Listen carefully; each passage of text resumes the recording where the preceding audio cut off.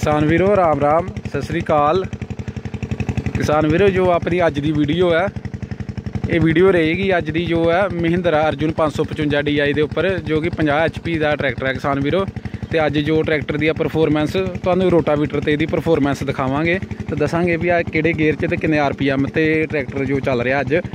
ਤੇ ਪੂਰੀ ਵੀਡੀਓ ਦੇਖਿਓ ਇਹਦੀ, ਦੱਸਾਂਗੇ। ਭਾਈ, ਕਿੰਨੇ ਫੁੱਟ ਦਾ ਰੋਟਾਵੀਟਰ? 8 ਫੁੱਟ ਦਾ ਰੋਟਾਵੀਟਰ ਹੈ ਕਿਸਾਨ ਵੀਰੋ। ਤੇ ਪਹਿਲੇ ਲੋ 'ਚ ਚਲਾਓਗੇ? ਹਾਂਜੀ ਹਾਂਜੀ ਭਾਜੀ। ਪਹਿਲੇ ਦੋ ਪਹਿਲੇ ਲੋ 'ਚ 1800 ਆਰਪੀਐਮ ਤੇ ਚੱਲੇਗਾ ਕਿਸਾਨ ਵੀਰੋ 17 1800 ਆਰਪੀਐਮ ਤੇ।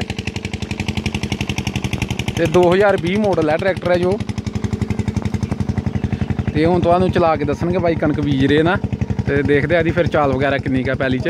ਕਿਸਾਨ ਵੀਰੋ, ਵੈਸੇ ਤੇ ਜੋ ਟਰੈਕਟਰ ਹੈ ਖੇਤਾਂ ਦਾ, ਟਰਾਲੀ ਦਾ ਕਿੰਗ ਕਿਹਾ ਜਾਂਦਾ ਵੀ ਟਰੋਲੀ ਕਿੰਗ ਹੈ ਸਭ ਤੋਂ ਕਾਮਯਾਬ ਟਰੈਕਟਰ ਹੈ ਟਰੋਲੀ 'ਚ। ਤੇ ਚਲੋ ਅੱਜ ਫਿਰ ਟਰੋਲੀ ਕਿੰਗ ਦਾ ਦੇਖਦੇ ਆ ਪੈਲੀ 'ਚ ਵੀ ਕੀ ਅੱਜ ਪਰਫਾਰਮੈਂਸ ਹੈ ਇਹਦੀ। ਵੀ ਬਾਕੀ ਰੋਟਾਵੀਟਰ ਤੇ ਵੀ ਕਾਮਯਾਬ ਹੈ ਟਰੈਕਟਰ ਇਹ। 8 ਫੁੱਟ ਦਾ ਰੋਟਾਵੀਟਰ ਹੈ। ਤਾਂ ਕਰਦੇ ਆ ਆਪਣੀ ਵੀਡੀਓ ਹੁਣ ਇਹਦੀ ਪਰਫਾਰਮੈਂਸ ਸਟਾਰਟ ਆਪਾਂ।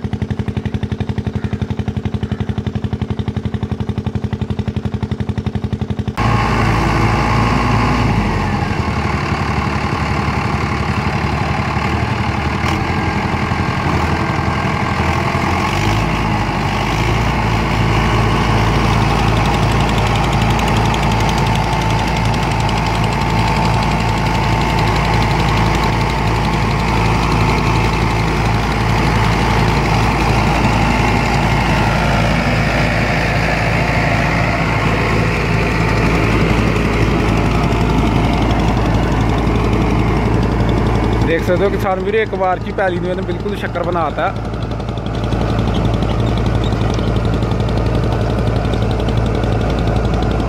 ਰੋਟਾਵੀਟਰ ਦਾ ਇਹੀ ਫਾਇਦਾ ਕਿਸਾਨ ਵੀਰੇ ਇੱਕ ਵਾਰੀ ਫੇਰੋ ਤੇ ਆਪਣੇ ਵੇਲੇ, ਇੱਕ ਵਾਰੀ ਪਹਿਲੇ ਬਾਈ ਦੀ ਹੈ ਪੈਲੀ ਦੇਖ ਸਕਦੇ ਹੋ ਤੁਸੀਂ।